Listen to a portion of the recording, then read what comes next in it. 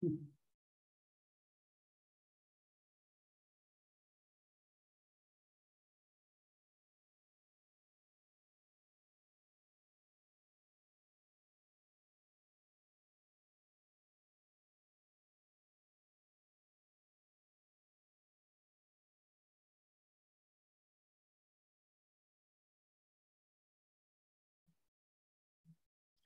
gehe mit Gott in vollkommener Heiligkeit.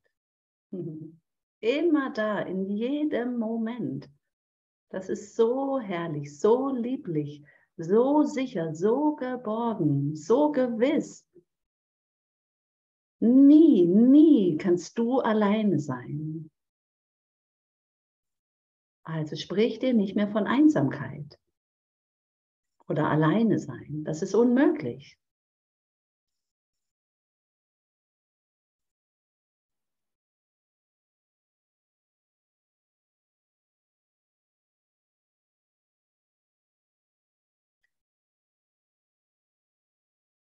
Ich bin in Gott in vollkommener Heiligkeit. Ich gehe mit Gott in vollkommener Heiligkeit. Was für ein Geschenk. Er sieht mich nur in Heiligkeit. Er ist heilig und somit bin auch ich heilig. Er ist Liebe, deshalb bin auch ich Liebe. Jetzt heißt es für mich, Tritt zurück von deinem eigenen Bild, was du meinst, was du bist. Und fühle, spüre das Wort Gottes. Und lass dich eben von deinem eigenen alten Film nicht mehr irritieren. Ich brauche aber Abstand dazu, weil ich eben sonst zu stark damit identif identifiziert bin. Zu sehr mich darin einmische oder wieder mein eigenes Ding machen will. Das funktioniert nicht. Ich will zurücktreten und ihm die Führung überlassen, damit ich meine vollkommene Heiligkeit erfahre. Wirklich die Finger von meinem alten kleinen Selbst lassen, mich nicht mehr einmischen, nicht mehr erreicht haben wollen, sondern hey, ich stelle mich einfach zur Verfügung. Heiliger Geist, Gott, Vater, Jesus. Da. Ich stehe dir, ich stehe dem, dem Heiligen. Es ist ja nur ein Geist, stehe ich zur Verfügung. Ich bin Kanal für Gott. Ich kann ja gar nicht anders. Alles, was ich aus meinem eigenen Willen heraus versuche, ist im Grunde Widerstand.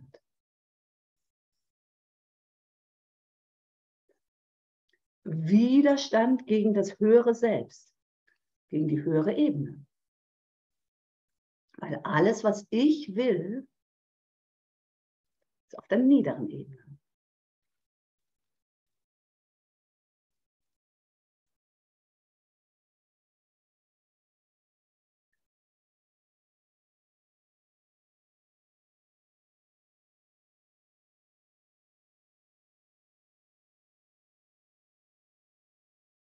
In Gott sind alle Bedürfnisse befriedigt. Im Grunde brauche ich gar nichts. Außer Gott als, auf, als Fokus, als Ausrichtung. Als einfaches Sein.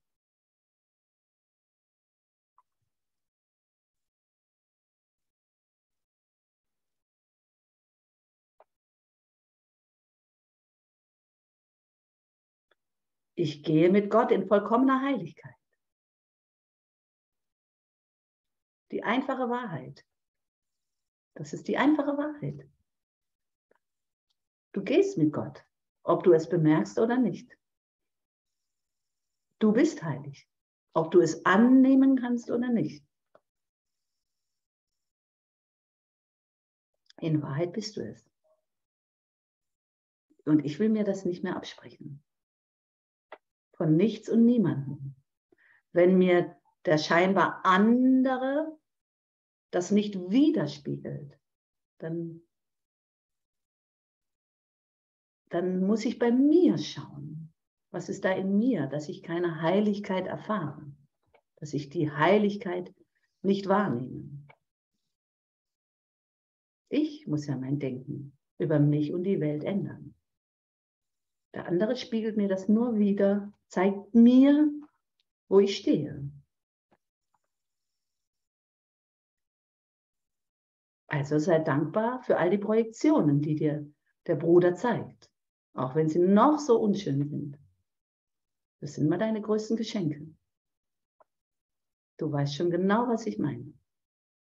Es liegt nur an mir, ob ich noch rumhampeln will, rumspielen will,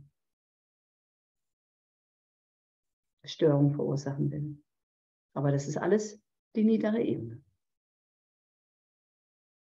Und das nur zu wissen und sich nicht dafür zu verurteilen, dass ich da noch so da rumhinge. Wir sind alle Lernende und Verlernende. Und wir brauchen einen jeden für die gemeinsame Heilung. Für die eine Erlösung. Es braucht ja nur einen Erlöser. Das bin immer ich. Das ist mein Film. Und nur ich kann mich erlösen. Damit alle erlöst sind, weil du Teil von mir bist.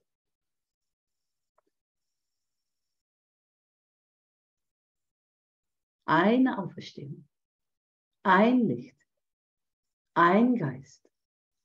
Eine Liebe.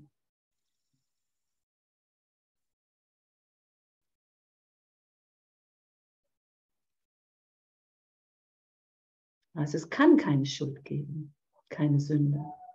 Ich will davon nicht mehr sprechen, weil das einfach nicht die Wahrheit ist. Ich will dich darauf nicht mehr reduzieren. Ich will dir kein Schuldpflaster, Sündenpflaster mehr aufkleben.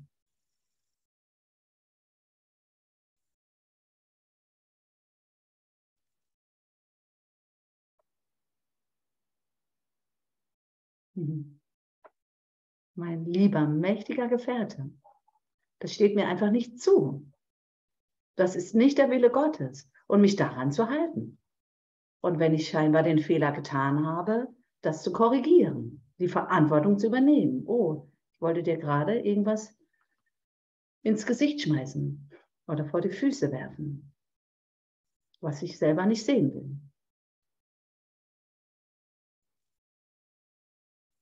Und das haben wir ja alle gelernt, das nach außen zu projizieren, damit ich nicht nach innen schauen muss, ich nichts fühlen muss und so weiter. Aber das halt nicht mehr.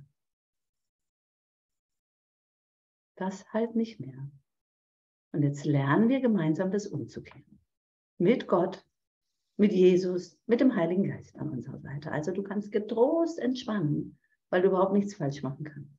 Weil du nie verurteilt wirst für irgendwelche Fehler. Weil du Gott nichts falsch machen kannst. Das sind nur meine Spielereien hier auf dieser weltlichen Traumebene.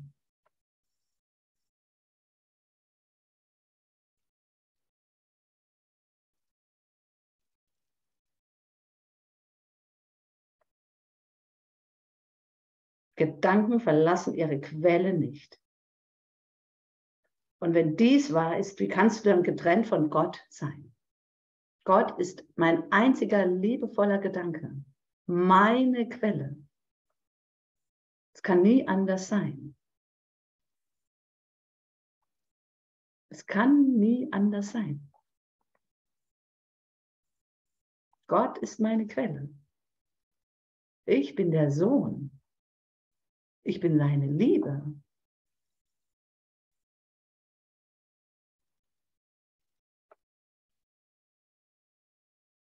Kann nicht getrennt mit, ich kann nicht getrennt von Gott sein und getrennt von Gott durch die Welt gehen. Auch nicht durch diesen Traum. Er wirkt durch meinen Geist, auch wenn er mit diesem Traum selber nichts zu tun hat. Dennoch ist Gott in meinem Geist. Sei denn, ich will das alles nicht sehen und verdränge es, dissoziiere und will Recht haben mit meiner Trennung. Aber ich will das nicht mehr. Das ist ja das, was Leid verursacht. Und ich will das Leid nicht mehr bestätigen.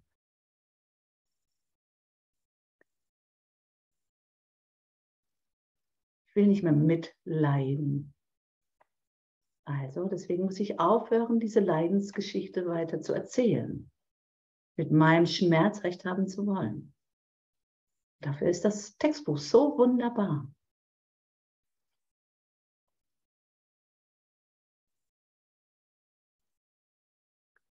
Habe nicht mehr auf den Schmerz oder auf das Leid zu reagieren, sondern darüber hinaus zu schauen. Dich in Liebe und in Heiligkeit zu betrachten. Alles andere ist wirklich die niedere Ebene.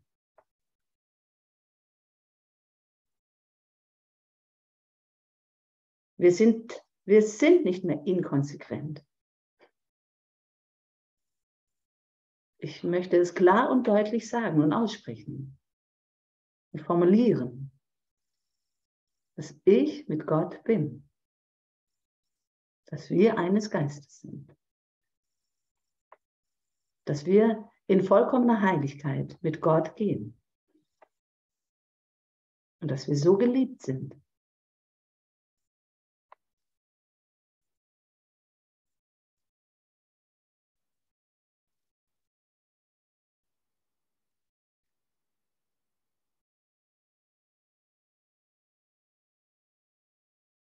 Gott ist der Weg. Gott ist das Ziel. Gott ist die Wahrheit. Das ewige Leben. So wie ich. Ich bin der Weg, die Wahrheit und das ewige Leben. Ich bin doch Teil von Gott. Eins mit ihm. Eines Geistes. Nur davon kann ich mir im Grunde erzählen.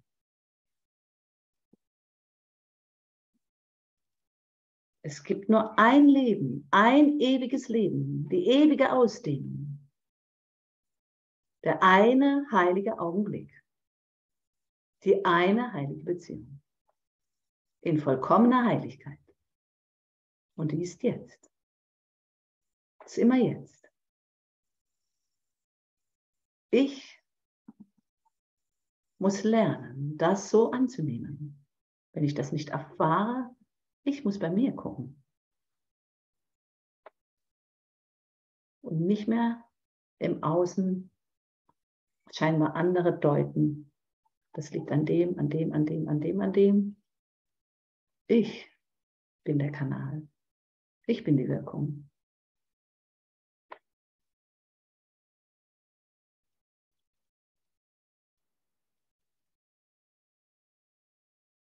Heiliges Leben. Lebendige Heiligkeit. Eins gesinnt. Was lebt, ist, was lebt, ist heilig wie Gott selbst, weil das, was sein Leben teilt, Teil der Heiligkeit ist und ebenso wenig sündig sein kann wie die Sonne beschließen könnte, aus Eis zu sein. Oder das Meer sich dazu entscheiden könnte, getrennt zu sein vom Wasser. Oder das Gras mit Wurzeln in der Luft zu wachsen.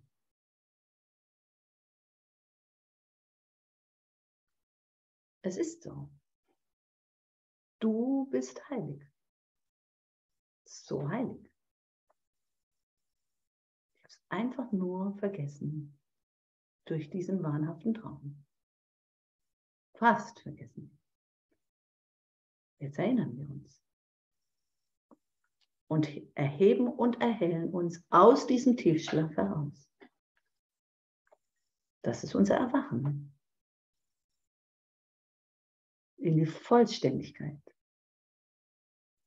In die Vollkommenheit. Das, was wir schon längst sind, schon immer waren.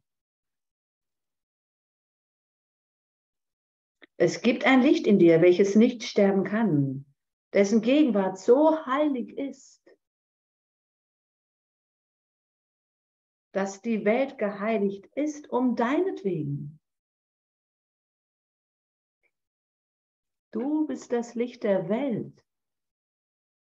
Lass es leuchten, sonst fehlt mir etwas. Sonst wird mir etwas entzogen. Wenn du dir etwas entziehst, entziehst du es auch mir. Wenn du etwas versteckt hältst, versteckst du es ja auch vor allen anderen. Dann fehlt uns etwas. Wir brauchen uns voll und ganz. In Gott gibt es keine Teil, gibt, gibt es nichts Teilweises. Und das kollidiert natürlich mit unserem Schuldgefühl, mit unserer Scham, mit unseren geheimen Wünschen, Fantasien und so weiter. Mein Haben wollen, meine Befriedigung, meine Bedürfnisse. Alles die niedere Ebene. Ne? Mein ausgehungert sein, mein nicht sehen wollen, nicht hören wollen.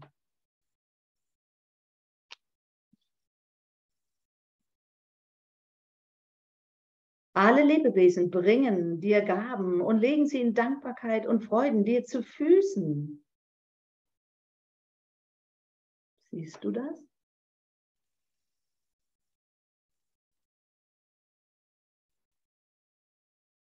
Der Blumenduft ist ihre Gabe an dich.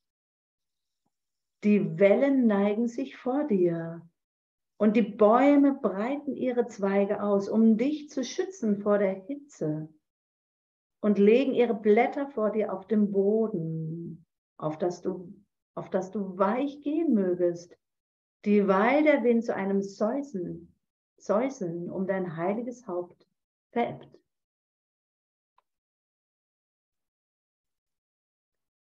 So liebevoll geführt und getragen bist du.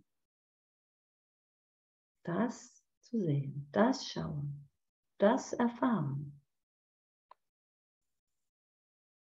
Ich habe mein Denken über mich und die Welt zu ändern. Ich habe Gott in meinen Geist zu lassen. Ich habe mich der Führung hinzugeben, damit ich das wirklich erfahre.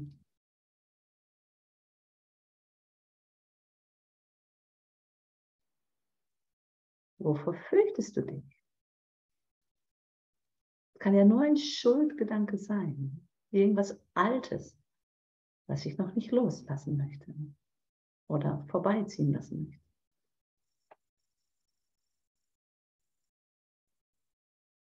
Dem ich ihm halt so viel Bedeutung gegeben habe. Oder wo ich vielleicht immer noch glaube, das ist mein Fundament. Wenn mir das genommen wird, dann falle ich ins Nichts. Das ist wieder dieser Opfergedanke. Ne? ein ururalter Glaube, ich müsste doch irgendwas aufgeben, etwas opfern.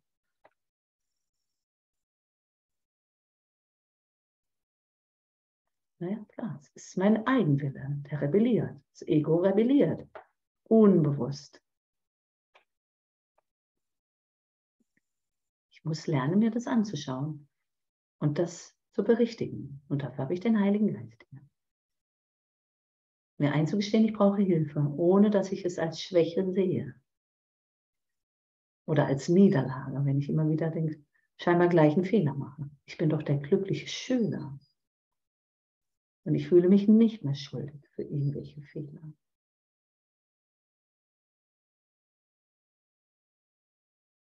Weil ich hier scheinbar immer irgendwelche Fehler mache auf dieser Ebene. durch meinen Körper, durch diesen starken Glauben, dass ich das bin.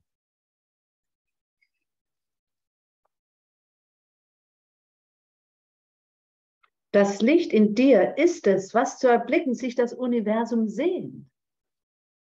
Ich will das Licht werden. Lass dein Licht leuchten. Du bist das Licht der Welt. Ich sehne mich danach. Ich als der eine Geist. Teil von dir, Teil von Gott, mit Gott, in Gott. Wir alle brauchen dieses Licht für dieses eine große Erstrahlen. Diese, große, diese großen Strahlen, das ist die Auferstehung. Das Erwachen, das Erhellen, das Erblühen.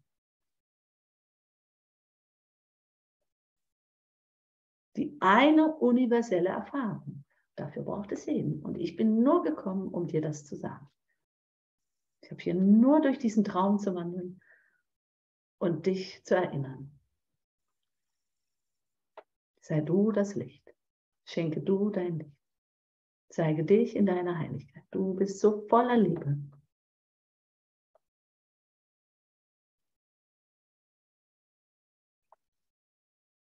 Komm mit. Komm mit. Du gehst sowieso schon mit mir. Du gehst sowieso schon mit mir. Alle Lebewesen sind still vor dir, denn sie nehmen wahr, wer mit dir geht. Ja, schau mal hin, wer da alles mit dir geht. Die Brücke der Vergebung ist prall voll.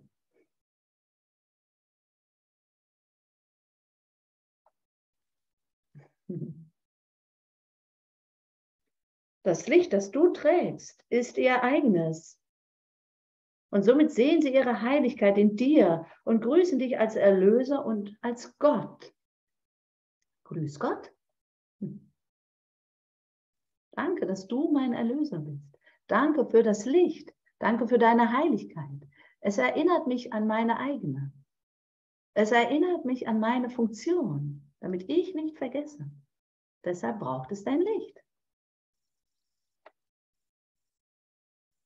Schatz Gottes sein. So einfach ist Gott. Sei einfach nur ein Schatz.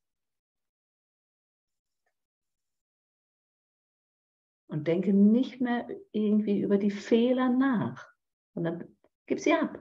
Gib denen keine Bedeutung mehr. Gib Frieden, gib Ruhe, gib Stille, gib Freude, gib Liebe. Dankbarkeit, Vertrauen, die Gaben Gottes.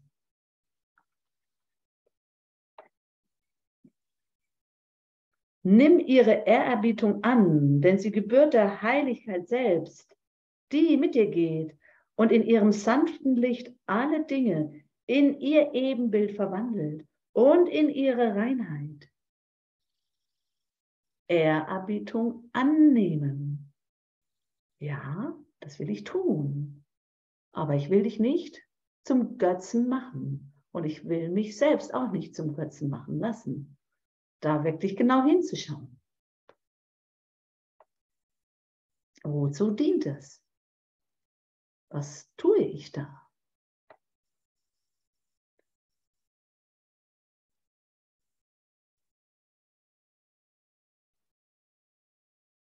Erhöhe ich den anderen, nur damit ich bei mir nicht schauen muss?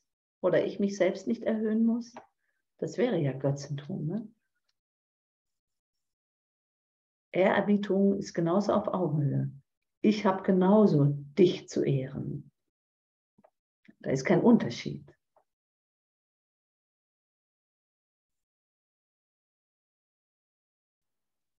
Also mögen wir dann nicht Götzen aus uns machen oder in Arroganz verfallen, was natürlich leicht geschieht, wenn jemand da so toll auftaucht und so klar und deutlich.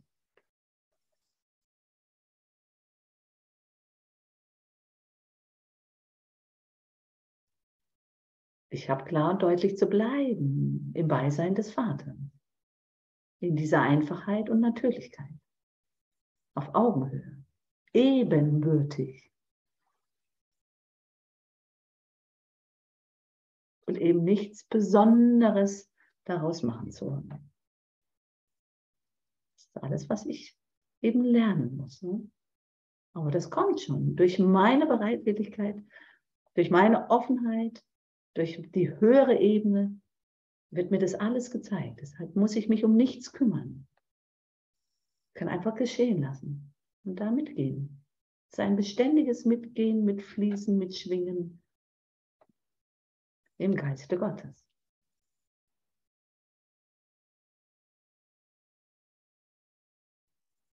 Während du zurücktrittst, tritt das Licht in dir hervor, und umfasst die Welt.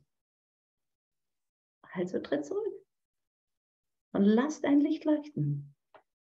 Das bist du, das sind wir in aller Heiligkeit. Und somit können wir alle klar und deutlich sehen.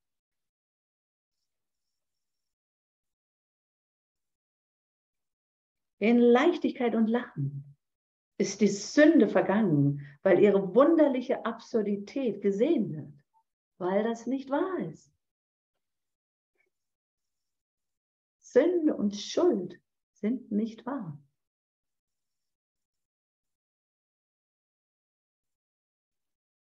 Sie ist ein törichter Gedanke, ein dummer Traum, nicht beängstigend, womöglich lächerlich, aber wer würde bei der Annäherung an Gott selbst auch nur einen Augenblick an eine derart sinnlose Laune verschwenden? Also halte dich nicht mehr damit auf. Denk nicht mehr darüber nach, dass dein Geist vielleicht noch schwankend ist. Und wieso, weshalb, warum. Das sind alles die Ego-Spielereien. Ne? Das will mich ständig verführen. Ich verführe mich selbst. Ne? Ich führe mich selbst in Versuchung durch meine alten Gedanken. Hey, ich will mich nur für Gott ausrichten. Ah, da, da ist das Licht. Ich bin das Licht der Welt. Hey, ich bin das Licht der Welt. Erhebe dich, erhelle dich. Und bleib trotzdem auf Augenhöhe. Bin in dieser Welt, aber nicht von dieser Welt. Dieses nicht von dieser Welt ist die höhere Ebene. Das heißt nicht, dass ich völlig abhebe und nicht gar nichts mehr mitkriege, sondern genau das Gegenteil. Ich bin total klar da. Ich kann körperlich am Ende sein, aber mein Geist ist hell und klar.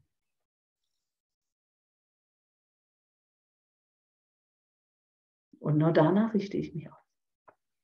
Es interessiert mich immer weniger, was hier so, was sich hier so abspielt. Weil es mich immer weniger antriggert. Weil ich das auch nicht mehr für wahr erklären möchte. Die Vergangenheit ist vergangen. Meine Geschichte ist vergangen. Sie existiert nicht. Die Zukunft ist nicht. Ich bin nur hier und jetzt ein liebevoller Gedanke Gottes. Vollkommene Heiligkeit. Ich bin da nicht mehr dran gebunden. Ich bin nicht mehr an mein Ego-Denksystem gebunden. Ich bin freier, reiner Geist, unendlich. Ein liebevoller Gedanke Gottes in Ausdehnung für den heiligen Augenblick, für die eine heilige Beziehung in Christus. Wir, ich, du sind der auferstandene Christus. Ich bin der auferstandene Christus durch mein Erheben und Erhellen.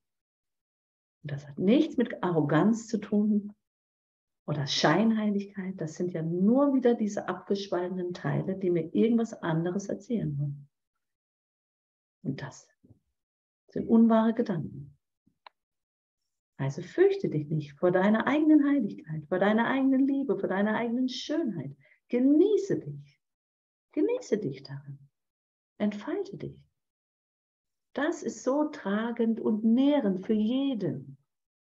Auch wenn vielleicht noch jemand in Abwehr daherkommt, weil er das nicht ertragen kann.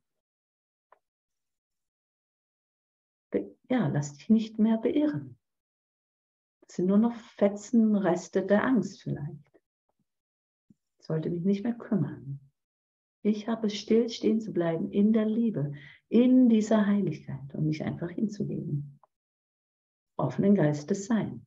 Kanal eben.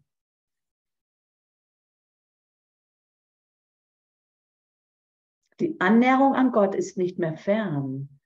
Und in der kleinen Spanne Zweifel, die immer noch besteht, das ist ja mein verwirrter Geist, dieses Herumdenken. Das sind ja Zweifel. Ne? Ich traue dem noch nicht so ganz. Sonst müsste ich ja so einiges nicht immer noch mal in meinem Wahn da herumwälzen.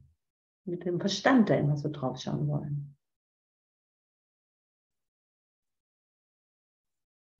Und in der kleinen Spanne Zweifel, die immer noch besteht, da mag es sein, dass du deinen Gefährten aus den Augen verlierst und ihn für den sinnlosen alten Traum hältst, der nun vergangen ist.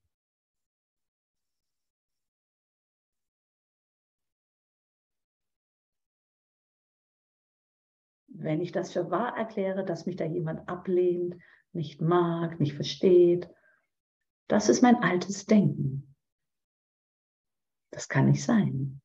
Wenn mich das noch antriggert, habe ich wirklich nach innen zu. Ich habe nach innen zu schauen die ganze Zeit und dadurch zu wirken. Und genau das habe ich dann zu korrigieren, wenn mich da was von außen antriggert. Das kann nicht sein.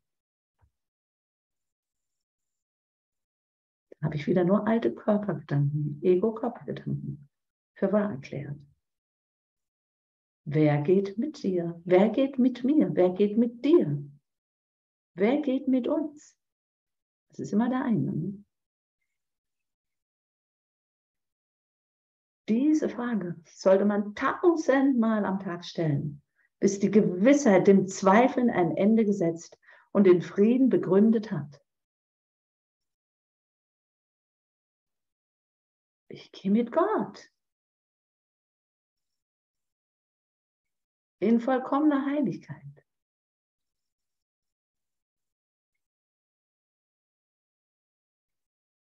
Lass heute das Zweifeln verklingen Gott spricht für dich, indem er mit diesen Worten Antwort auf deine Frage gibt. Ich gehe mit Gott in vollkommener Heiligkeit. Das sagt dir. Ich gehe mit Gott in vollkommener Heiligkeit.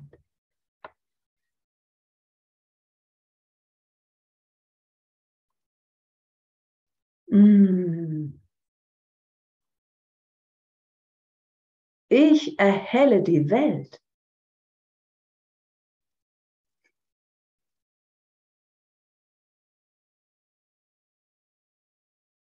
Ich erhelle meinen Geist. Und jeden Geist, den Gott als eins mit mir erschaffen hat.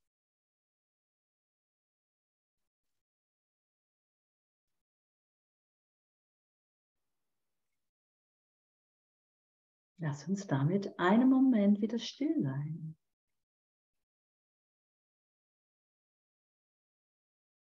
Mächtiger Gefährte.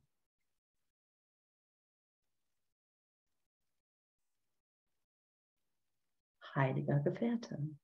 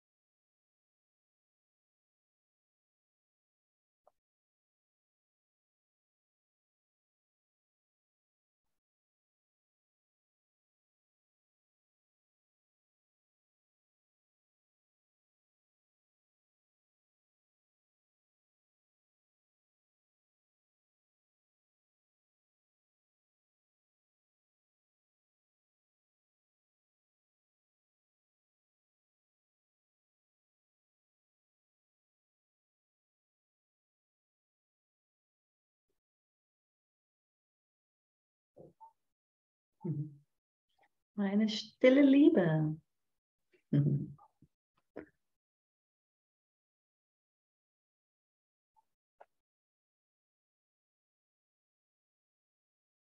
Da leuchtet es. Sieh das Licht in mir. Es ist dein eigenes.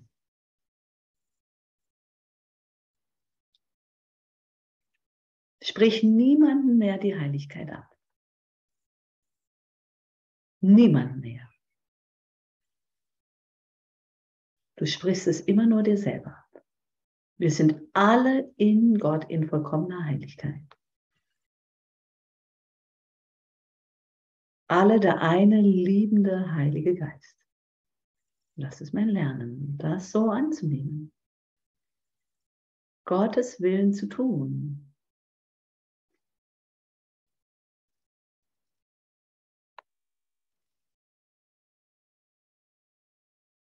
sprudelnd aus der einen Quelle. Der eine liebevolle Gedanke, der sich so ausdehnt zum großen Strahlen. Also danke Vater, danke Gott, danke dem Heiligen Geist, danke Jesus, danke jedem Bruder und danke dir selbst für all das, was du lernen darfst und verlernen für deine Heiligkeit und Herrlichkeit, für deine Schönheit und für deine Berührbarkeit und für dein Lächeln. Schatz Gottes. Danke dir so sehr und liebe dich so sehr. Und sage jetzt einfach mal Tschüss. Winkend aus Birnbach vom Festival. Juhu! Danke, danke, danke.